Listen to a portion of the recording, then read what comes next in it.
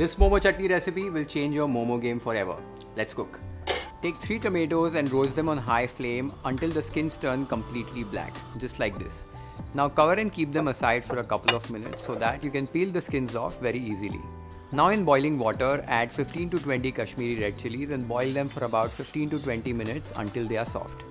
Now in a blending jar, add the charred tomatoes, add the boiled red chilies, a small handful of fresh coriander, some spring onion greens, 6 to 8 green chilies, 8 to 10 cloves of garlic, half teaspoon of sugar, 1 teaspoon lemon juice and salt to taste. Now grind everything together into a fine paste.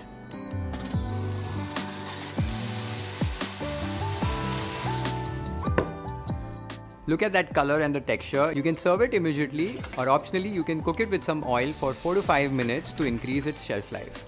You can store this chutney up to a week in the refrigerator. Wow, this is so good.